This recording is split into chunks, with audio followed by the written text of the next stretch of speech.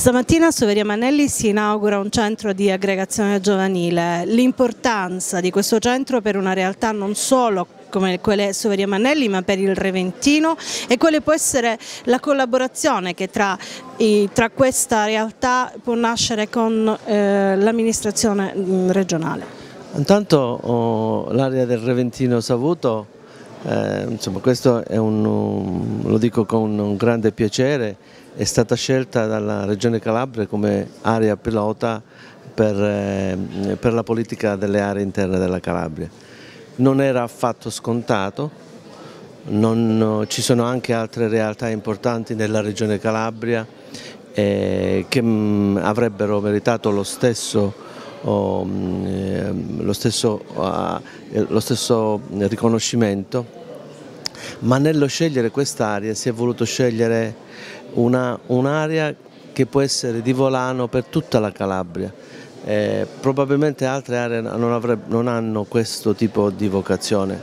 quindi eh, avremo dinanzi a noi un periodo estremamente importante, delicato, oh, che ci vedrà tutti impegnati per far partire proprio da questa area, quella del Reventino e del Savuto, quindi un progetto ehm, di rinascita delle politiche nella nostra regione. E oggi io oh, con l'inaugurazione di questo centro oh, abbiamo di fronte un'amministrazione che è molto attenta ai problemi sociali, quindi ai problemi delle politiche giovanili e, e, lo, e, lo, e, lo, è un momento particolare dove discutiamo, un momento in cui discutiamo di sanità nelle aree interne, dove discutiamo delle politiche ambientali. Vorrei ricordare che in questa area, anche nei momenti più difficili di, di eh, emergenza rifiuti, questa è un'area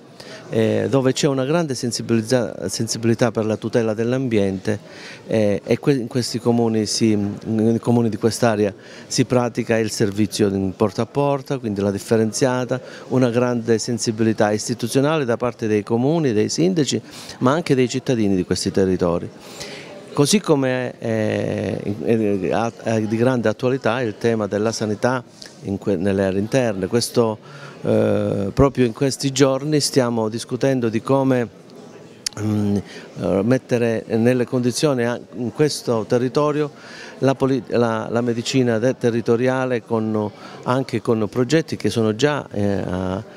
una realtà come l'unità delle cure primarie sul territorio perché noi dobbiamo portare sempre meno gente in ospedale, più gente a curarli eh, sul territorio, a curarli a casa, però dobbiamo rilanciare il ruolo dell'ospedale, di questo ospedale per quello che deve fare. Proprio ieri abbiamo avuto una, una riunione